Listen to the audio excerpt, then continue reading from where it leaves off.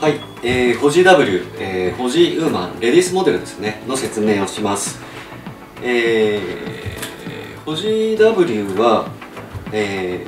ー、エリック・ホクレイソンのホジの女性用の板として作られてまして、えー、ホジと同じ、えー、サイズですね、えー、ディメンジョンは全て一緒でセンターが 112mm、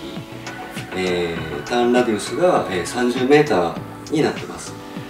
でまあ保持と同じなのでリフレクトテックですね、えー、サイドカットラディウスとリバースキャンバーラディウスが一緒で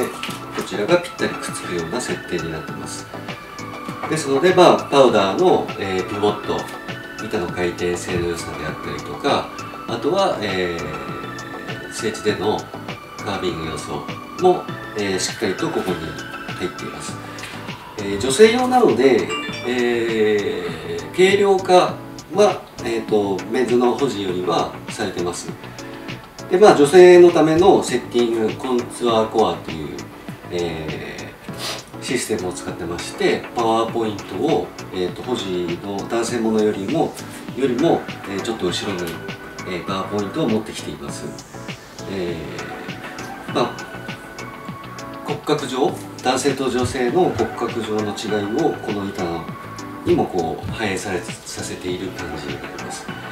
なのでこの板はもう、えー、パウダーをメインとしてやってらっしゃる方に、えー、とてもおすすめになりますしこう1台で、えー、そうですね12月から、えー、パウダー時期の